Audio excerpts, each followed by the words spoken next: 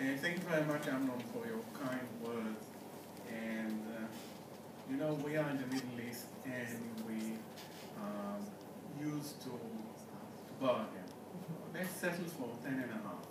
Is it a compromise acceptable? December 2000. Eli, it is 10 and a half. December 2004. Ten and a half. 10 and a half. Okay, so I thought it's a fair compromise. Now it's the right compromise. Okay, the next speaker, Dr. Liat Kozma, the head of the Levtzion Institute. Yeah. Um, Good evening, everybody, and uh, thank you for coming. Um, I won't, I won't take too much of your time, Uh, just a few words about the center and several uh, gratitudes that are in order. Uh, First of all, to say that I inherited a very active and vibrant uh, center from my predecessors. That was Professor Reuven Amitai and then uh, Professor Ani Shacham, who's here, and Professor Meir Hatina.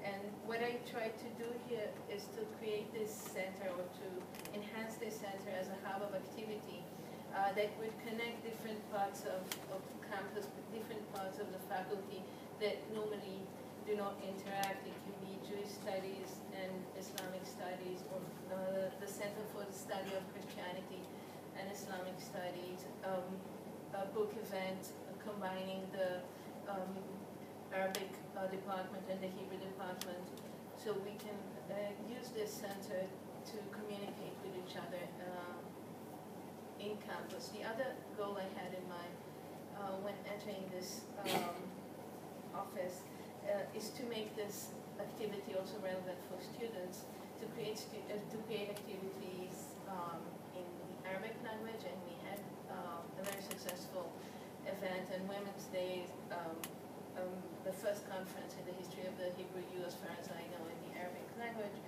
um, that attracted not only, only people from um, from the university, but also people from the north who came in, a bus, and um, it was really touching and moving to see that that we managed to to be relevant not only to the uh, academic community, and not only to the student community, but also to the larger community here in Israel. And indeed, the other important thing I I try to do is to connect the university to Jerusalem through our uh, collaboration with the uh, with the Islamic Art Museum in Jerusalem. And, and I think this should and many people are talking today about the death of the humanities, and I truly don't believe humanities are dead.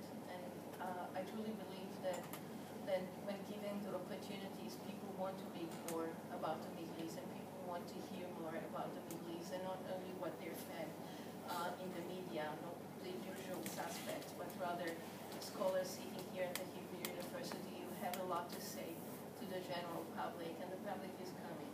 So I, I think that these are things to, um, to keep in mind when we ask ourselves, why do we need this, such a center, and what I believe should be done in the, in the years to come. And I, and I have several people to thank for what we accomplished this year. Um, the Levtzion family uh, who's here, uh, and Mr. Amos Bahat, one of the uh, only people who uh, economically supported this center in the last two years and enable us to do what we what we've accomplished. Um, and I thank, of course, uh, Sasha Schneidman, uh, for some reason called Sasha Schneidman, Sasha and the others. So here's Sasha and the others, uh, and for for enabling the kind of activities we're doing, for being so creative uh, in um, in enabling what we've done this year. Uh, I think um, to this uh, 10th annual lecture. Um, and I also want to uh, congratulate uh, Gilad um, Shokahat for um, his uh, going to be given the award, and we'll say a few words in a few minutes. Um, and I also want to thank Ori Cosmo for designing this beautiful invitation. Thank you very much for coming.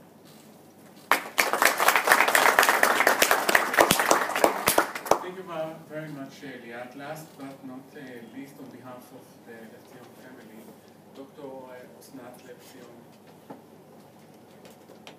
our General Manager of Hadassah Hospital.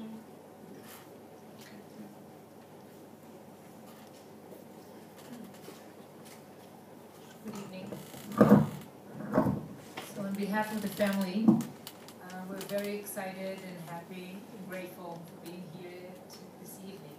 And we were very fortunate to be born to an amazing uh, parents. And the thing that usually you learn to appreciate your parents when you're an adult and you raise your own kids and you see things that how they um, cope with. But I think with us, I think as kids and teenagers, we already knew how to knew to appreciate them. Um, and it's it's very sad that they're not here to to see it, uh, to see their grandchildren. And their oldest one is already 20. And I know to some of you it sounds weird that I have a 20 year old, but um, I'm not that young anymore. Only you stay young. I'm not in that one. Which is pretty amazing how the gap. Uh, and uh, but one of the amazing amazing things is that their spirit is still with us, and they were both innovative, always creative, and uh, very hard workers. Although always the family was the top priority. And um, one of the amazing things in that is the Center of Islamic Studies, Levtzion Center that is still, still not only, but not only being here, but very vibrant and very active. And it's amazing that it's already the tenth lecture or whatever you came up the calculations were. Um, and we know that um, all the heads of the institute before, and yet unfortunately struggling with the same issues, and uh, which we're always hoping and trying to, to find new resources. And as you said, unfortunately, to me it sounds such a sexy sell in this crazy world. Uh, and we will manage, we'll crack the, the, the thing yet.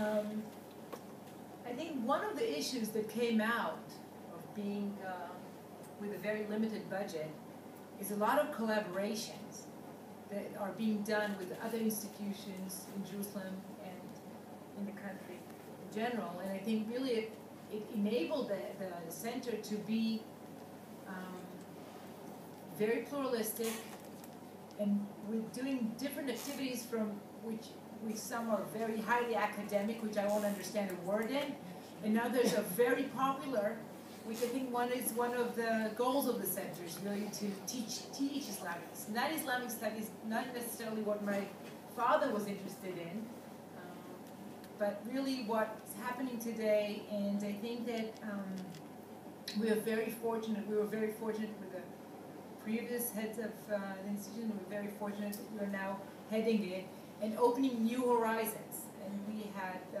meetings, And myself, and really it's amazing the way you think and about the gender and now how we really bring in the Arab students into the center.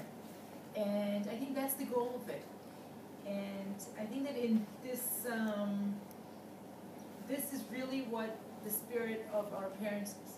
It's to go not necessarily to the highest, you know, academic, uh, socio-economic class people, but no, go to what Israel is about. And it's it's my dad with all that Amnon um, very kindly mentioned and the periphery and everything. And by the way, each university and college that he are doing a lot of things in his memory, and it's heartwarming. Uh, in Sapir, where they now have thousands of students, the president always says it all started with Nehemia. Or the president, previous president of Shenkar, they're giving awards on his name there too. He says, you know, think of it, he calls me and says to me, I have money, what can we do? Let's open the second, the master's program. And, um, and what you're doing now with this New Horizons is really in his footstep.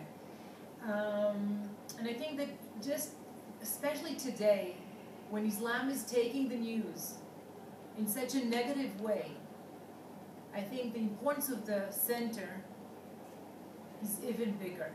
Really to teach, and in our hospital we have um, we have Arab population, Jewish population, and I always say that that's where coexistence begins because we show in the hospital that medicine is a bridge to peace And it's not necessarily between Arabs and Jews, but it's also between secular and ultra Orthodox, where no other place they'll have a chance of just sitting and talking. And uh, I think the center here has the same issue. We really need to, what I always say is when you know you don't hate. And that's one of the issues that you're doing with all that tons of activity. And uh, hopefully that the university will be able to be a little, a little more supportive. And um, we need, as we said, we need to find the right um, venue to, so you won't have to struggle so much with the financial burden and really be able to concentrate on all your brilliant ideas. And so thank you, thank you all. And um, Gilad, um, congratulations. Interesting work that you're doing.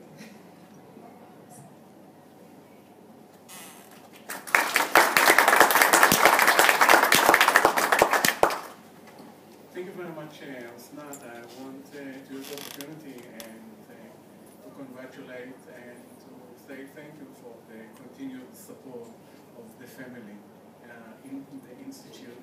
I think uh, this is very important. And maybe only to emphasize what you have said about the importance of the institute.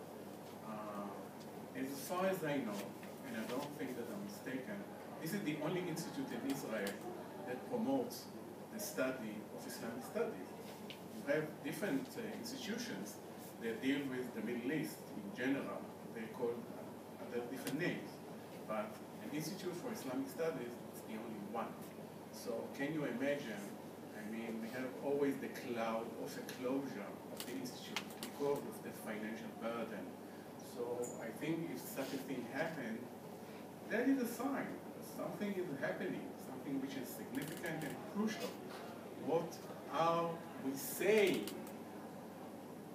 if we close such an institute that tries to promote the study of uh, Islam? The problem is that the image of Islam in Israel in general, and I would say even in the West in general, is a very negative one. And I think that recent events in the Middle East might have contributed to that negative perception. But we have to fight it, obviously, and to show the other side of Islam, or to show that is, Islam has many different faces. And we want to show also the positive faces of Islam. Okay, now we move to the next uh, stage. And every year the center awards scholarship to outstanding students. And the recipient of this year's award is Gilad Shaw. Gilad, please uh, come. Gilad is writing his MA thesis on a certain uh, Sufi brotherhood in Israel. And maybe you will tell us a little bit about it in a minute. Is it okay? Yeah? Okay. This is, and this is also a small present.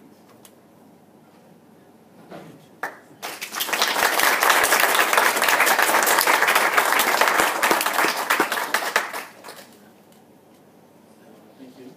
Thank you for the Levtzion's family and uh, for the and for the head of the Levtzion Center and all the professors. Some of you I've learned with, some of you I didn't have the honor to, uh, but I'm honored to, to see and meet and hear for the first time. Um, I, I would say, excuse, excuse my, my accent and my voice today, which is, uh, just happened this morning. I, I will say something in brief about my thesis.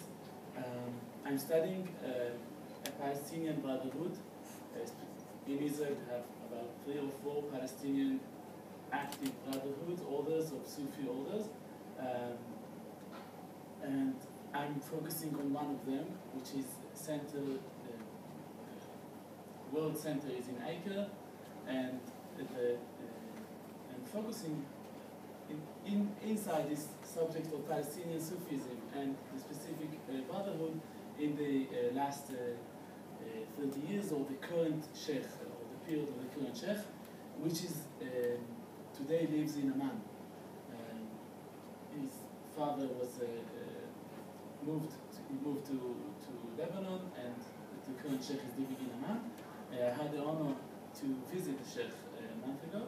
Um, so my my uh, research is based uh, uh, first on, on uh, meetings and interviews with uh, with people of the Tariqa, with the, students, but yeah, the students of the, the people of the Tariqa and the, the officials, um, you can say, of the, the leading the communities. What, what's um, unique about this Tariqa, uh, this, uh, this brotherhood, um, many things, which I start to love more and more, so I, I just focus on two of them, which I think have uh, importance here. Uh, first is, is the distance between the Sheikh and his people. Um, so, not unlike the other uh, brotherhoods in Israel, which the Sheikh is very close to them and they're very, very uh, local, uh, in Nazarat or in Bakr al um, this Sheikh is sitting in Amman and his people are, are spread lot, all along the globe, the globe, and, and his center, and he's also distant from his place of birth and place of birth of the Tariqa, which was uh, established in Acre uh, 150 years ago. And this distance between the Palestinian leader and his home town and home base is interesting in the sense of how a Sufi leader is, is, uh, is approaching this uh, problem. But it's, it's interesting also reflecting about the bigger Palestinian story of a leadership uh, away from its home and base. It's interesting also because this Tariqa, um, like you can say, the, the, what people usually think about Sufism, that they are all about peace and the other faces of Islam. Um, it's not always like that, but in this particular case, it is. So um, um, it's nice to, to be uh, to focus on this. It's not the reason I, I went there, but uh, this Tariqa is, is uh, really talking a lot about that. And this Sheikh, uh, although he is um, he was born in Acre and now he can't go there, he's still talking a lot about uh, reconciliation and uh, not dialogue with Israelis, but uh, but he's talking about he's supporting proper dialogue with with Israel, with other religions in Israel, in Acre, in the center in Acre. There are a lot of interreligious dialogue happening. Um, so that's another unique uh, part of them. Uh, and, and another unique thing is the focus on um, academic studies or high, higher education, uh, which the Sheikh is, is very emphasizing very much. Uh, it's more than not going only to madrasas and, and uh, making more Sheikh or um, he's, he's very proud in, when you see interviews with him in um, television or on YouTube. Um, he's proud to say how many uh, engineers they have and how many doctors and how many uh, other academics uh, people they have. And in this sense, I, I think this uh, research is also fulfilling one of the goals of the, of the center, which I've just read, uh, about uh, strengthening the, the working contacts between Israeli students and Islam, uh, of Islam and Muslim academic institutions and academics. So visiting in Amman, I met um, few academics, uh, uh, one, one, one professor teaches in Amman University, which is uh, part of the Tariqa, and he, he helped me um, talking to the Sheikh and gave me some background, uh, and I'm, I'm in touch with him, and a few other, and I'm, another academic uh, now in Jerusalem, in, uh, in University of Al-Quds, he's doing his master's here now, and he's helping me, and I'm helping him in other things, and I had the opportunity to talk to Professor Gineo about some things they have in, in the archives in Istanbul. They asked my help to, to see how to get there. So um, this research is also getting the, this goal uh, happening. And, um, and again, I want to thank you. Thank you very much.